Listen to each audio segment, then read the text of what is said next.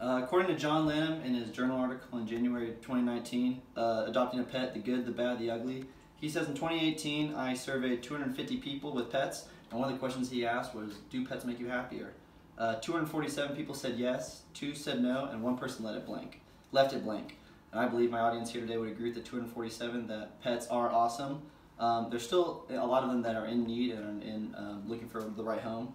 And today I want to convince you to adopt a pet on your own, whether you haven't thought about getting a pet and you want to, I'm going to convince you to look into that, or if you are looking to get a pet, I want to convince you to go to a shelter.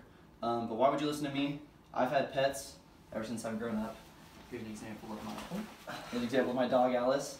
Um, my pets are all have been um, adopted from shelters as well, just like Alice, and uh, they've been so I mean great for my family and me. Um, there's been so much fun, been a great companion for us to have with our family.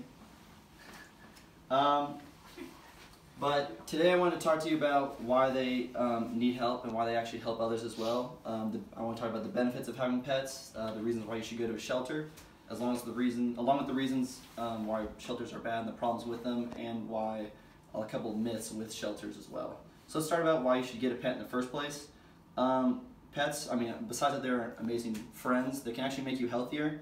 Uh, John Lanham continues his article in saying that according to the Center of Disease Control and Prevention, pets also lower uh, blood pressure and cholesterol in most humans. Um, in other words, they actually make you healthier besides just having fun. They can also relax you and um, just kind of relieve your stress. I mean, who can get mad when a dog's kind of looking at you with a big uh, bundle of joy? Um, they also help you with your mental health, which is a much more serious issue. He continues to, John continues to say that not only do animals give unconditional love to their owners, but caring for a companion can give some sense of purpose and help with one's loneliness. Um, they aren't just friends, but are good medicine for people's well-being.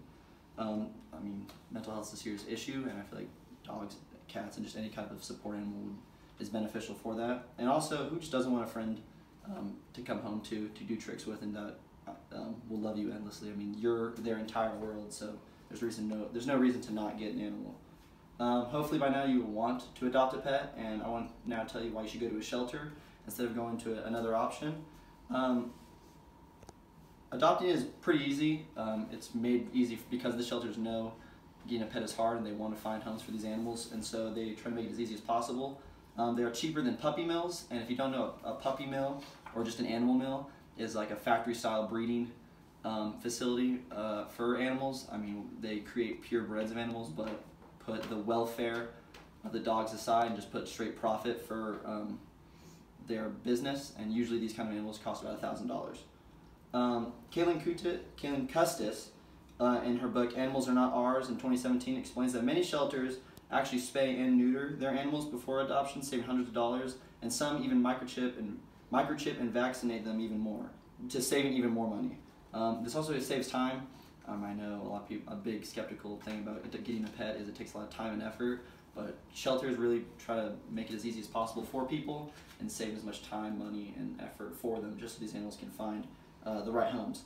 Um, Kaylin continues to say that shelters are brimming with happy and healthy dogs waiting for someone to come take them home. Most shelters also do checks with the families just to make sure their homes are permanent. They're just trying to double check to make sure that homes, the homes that these animals are going to are actually good for them and are more permanent than their uh, previous situation. Um, adopting from shelters also makes room for other animals, or in other words, are a two for one kind of deal. Um, Kaylin explains this two for one uh, deal when you're actually saving two lives instead of one from adopting from a shelter. She says approximately 7.6 million animals are in shelters. The, there are 2.7 million that are euthanized. Adoption moves vulnerable animals from shelters to safety and also makes room in the shelter um, for other animals to come in, along with spreads resources more evenly. Uh, a lot of shelters right now in the U.S. are very overcrowded. There are a lot of animals in there still looking for homes, and so when you would adopt an animal from a shelter, you actually make it easier um, for another animal to come in and eat and drink, just have enough supplies to keep those animals happy and healthy. Um, it's almost like a two for one deal or a domino effect, and when you save one, you save another. Um, also, as I, as I just said, euthanization is kind of an extreme option, but um, it's kind of the only option shelters are faced with now. Jenica Jatowski, in her article 10 Reasons to Adopt from a Shelter, says the, that the American Society for the Prevention of Cruelty to Animals estimates that while 48% of dogs are adopted, 20% are euthanized, and while 50% of cats are adopted, 27 are euthanized. It hurts to think that a lot of animals are in shelters and won't see past a shelter because they can't find the right home or they can't find a home in general and that their, um, the end of their life is in a shelter. So, I mean, if that's not moving enough to go out and adopt, I'm not really sure um, what there is. And I know a lot of people still have, um, are still doubting about going to a shelter for multiple reasons. Uh, one of the big ones that I uh, found was that are they really family ready? I know they're kind of all shelter animals come from all over the place. But like I said before, shelter animals are actually mostly, most of the time, spayed, neutered, uh, microchipped, and even vaccinated before they're even put up for adoption. Is again, it saves time and money. They're pretty much just looking for someone willing to take on that responsibility of having an animal. Another concern was, are they house trained or already aggressive? And in April of 2017, Corey Smith, the director of public policy for companion animals at the Humane Society, says one big myth about shelter animals is their behavioral issues. However, many shelter animals are there because their owners can no longer take care of them. Um, the majority of pets are there because of their uh, people problems, such as financial crisis, divorce, or simply because the owners can no longer take care of them. What this means is that the majority of pets are there because, or the majority of pets there are already house trained and socialized with other pets. Um, these animals, I mean, like Alice, she came from a shelter. Um, obviously, it was a little nerve wracking having our first dog in the family, but she, we had cats already, and she just jumped right in. There was no real aggression, nothing negative towards them. Um, because she was already um, had a family with other cats, she was kind of just ready to go uh, into our family.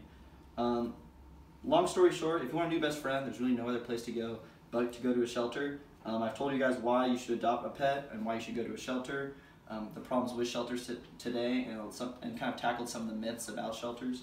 Um, I want to encourage you to think about um, your well-being along with other pets' well-being um, in regard to this speech, just to kind of keep it in mind. Um, my pets have really been amazing to me and my family, like Alice.